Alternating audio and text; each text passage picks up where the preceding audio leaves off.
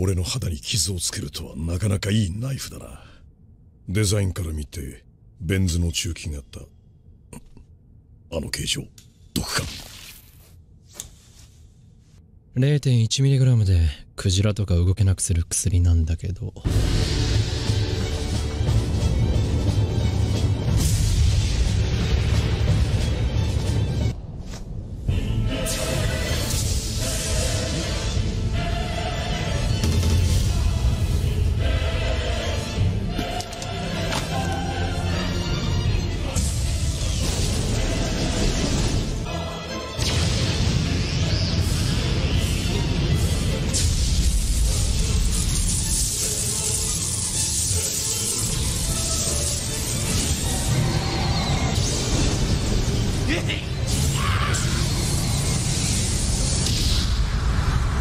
めたわしかしその代償として引き出した能力を使う際は常にその本を手にしていなければならない。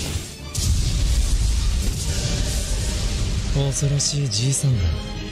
一瞬にしてこっちの狙いは全て見切られたか。生け捕りは無理かな本を閉じると引き出した能力も消えるわけだ。親父の攻撃を紙一重でかわしながら俺への警戒も全く怠らない。あの時より体術はさらに向上している。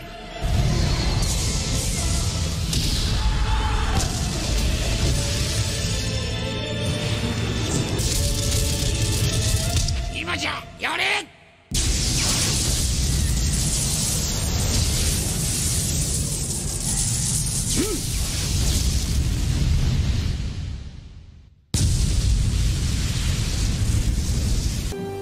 十郎島は始末した。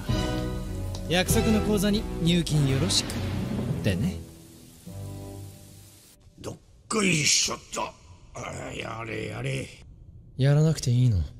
わしらの依頼人は十郎とその依頼人が死んでしまった以上お主はもうターゲットではないのでな。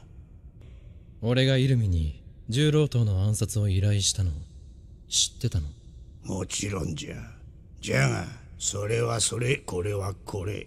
わしらは受けた依頼を遂行するだけじゃ。差しでやったら俺とあんたどっちが勝つ？うん。それは十中八九わしじゃろうお前が本気でわしをやろうと思えば話は別じゃがな。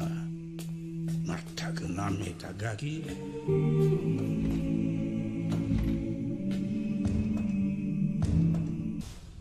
しんどありゃ盗めねえわ。